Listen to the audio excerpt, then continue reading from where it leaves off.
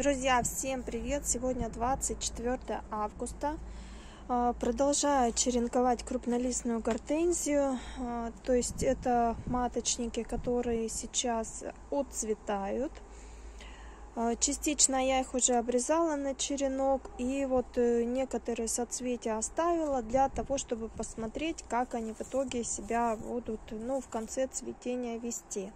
Сейчас пришло время, как бы сейчас э, эти соцветия уже не нужны, и я буду формировать дальше кустик э, свой и снимать на черенок. Черенки будут укореняться дома, и сейчас э, укореняются те, которые были сняты тоже дома. Вот смотрите, была обрезка, в пазухах проснулись почки.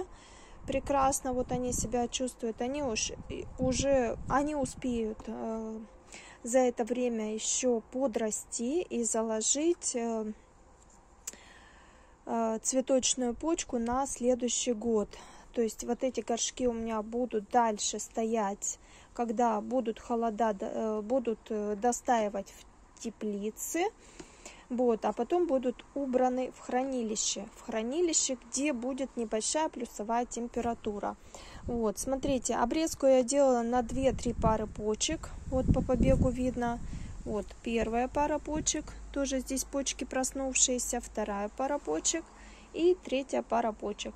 Самая вот такая, как говорится, активная, как, которая как, э, проснулась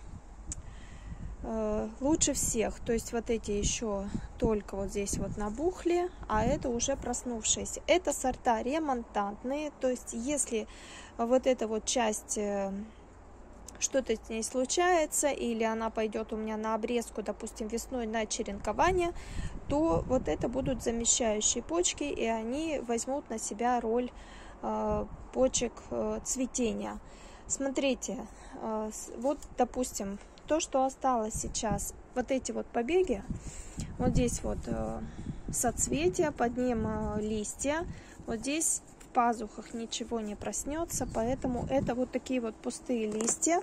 Делаю вот обрезку до следующей пары листьев. Вот здесь вот уже проснулись почки.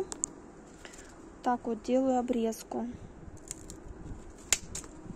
То есть вот эта вот часть, она ничего не даст.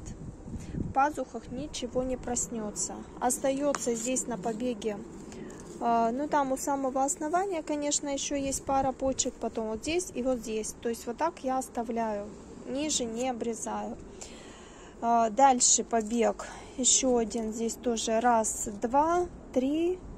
Вот здесь вот тоже, скорее всего, ничего не проснется. Тоже делаю низкую обрезку на две пары почек. Так. И вот, вот это соцветие, смотрите, самое интересное. То есть здесь, вот здесь вот пара почек проснувшаяся, здесь пара почек проснувшаяся и третья пара почек. То есть вот эту вот часть я могу взять спокойно на черенок. То есть я вот здесь вот делаю обрезку. Смотрите, и вот эту вот часть, вот верхушку я обрежу, листики подрежу. То есть вот это на выброс, здесь ничего не проснется.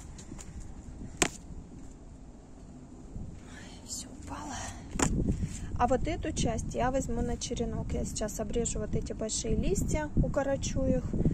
Вот, и здесь вот в пазухах уже проснулись побеги. Это у меня пойдет на черенок. Еще вот здесь вот э, есть один побег, который выбивается. Вот он высокий, вот этот вот побег. Он тоже здесь получается на три пары почек. Вот внизу вот здесь первая пара почек, вторая и третья. То есть я хочу его вот так вот укоротить сейчас а верхушку взять на черенок. То есть вот эту часть я возьму на черенок. Вот такой вот кустик у меня получается. А, все старые такие вот листики, вот я покажу. Я их обрезала, укоротила. То есть вот те, которые, ну, портят, как говорится, внешний вид. И особо они здесь не нужны. Их можно вот даже вот так напополам, потом их полностью убрать. Но они полностью потом уже и сами, в принципе, отпадут. Вот, видите, да, здесь в пазухах уже начали просыпаться почки. Сейчас буду подкармливать эти гортензии, подкармливать э, буду э, с большим содержанием получается калия, это может быть монофосфат калия, но я буду использовать еще дополнительно удобрения по листу по погоде. То есть если погода будет э, не сильно холодная, допустим, да, дневная, я сейчас э, увеличу э, фосфор, увеличу фосфор, увеличу калий, и будет самое минимальное содержание азота. И буду эту подкормку листовую чередовать с монофосфатом калия. Монофосфат калия буду подкармливать, это будет корневая подкормка ну, может быть, один раз, может быть, два раза, для того, чтобы вот эти вот э, черенки начали вызревать.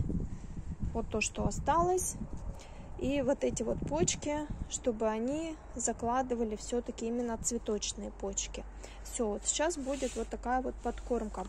А почему увеличиваю сейчас фосфор? А, то есть это листовая подкормка у меня была 5, 15, 45, грубо говоря. То есть фосфора не сильно много это была подкормка для цветения, то сейчас будет фосфор еще увеличен а, именно для вызревания, для закладывания цветочных почек. И потому что сейчас уже идет низкая температура. Фосфор при низкой температуре усваивается плохо, поэтому фосфор надо увеличивать дозировку.